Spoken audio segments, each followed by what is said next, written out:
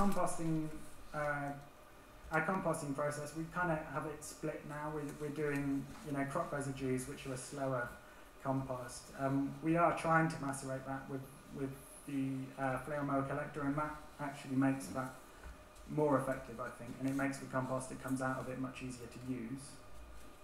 Um, and then yeah, we're just making it into windrows, and, and at the moment, you know, we, we, we're just doing, we're just turning it occasionally. These are massive piles. Like, I think that, you know, when people talk about like having compost that's ready to use in three weeks, like, I don't think that's good compost. You know, I think time needs to be involved there.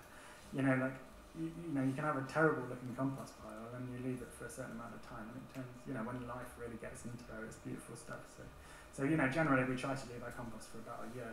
Like, we, we cover it um, during that time. But yeah, and then we're, then we're actually collecting uh, green material from around the farm, um, like uh, green manures, like tracks, stuff like that. And that this year we've made a, we've made a lot of compost. Like I, I think we'll, we will be pretty much compost self-sufficient next year.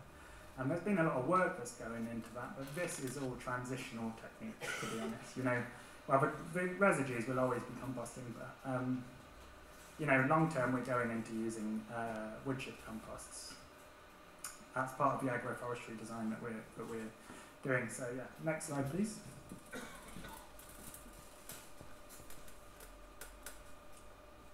Yeah, so um, kind of compost sources, you know, as I said, I'm not like, you know, I'm definitely not advocating just like importing massive amounts of green green waste every year. Um, is it's a, it's a good like material for the transition.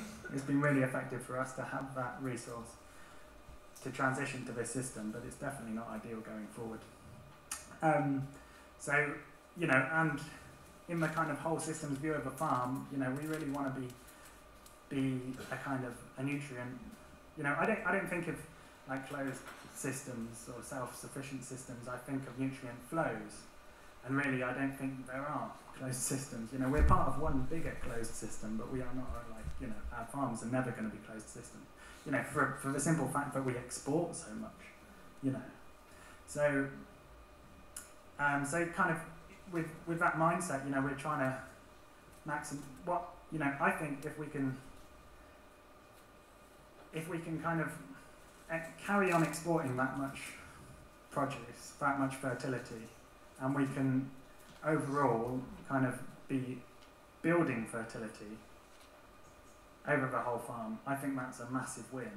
You know, you know, to, to actually be that, you know, that intensively productive with very extractive plants, like as Tali mentioned in the previous talk, you know, that the crops we're growing uh, take take costs definitely, and and you know, if we can do that whilst building fertility, you know, I I think we're winning generally. So um, yeah, so we usually we, we put in 1,500 willow cuttings, or willows and poplars. Sorry, this this year we we go we like we're experimenting with an intensively planted um, like short rotation system. So the plan is to take one of these three um, rows every three years, um, and they're, they're planted at 60 centimeters apart.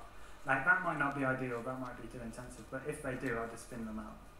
If it's not so good, I prefer to plant too many and have to thin them and not have planted enough. So, so we'll kind of manage that as time goes on. But these are like, you know, potentially multi-generational projects, you know, like I don't know how well it's going to work offhand.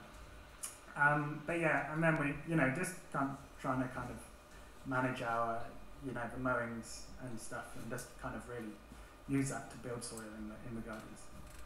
Next slide, please. So yeah, so soil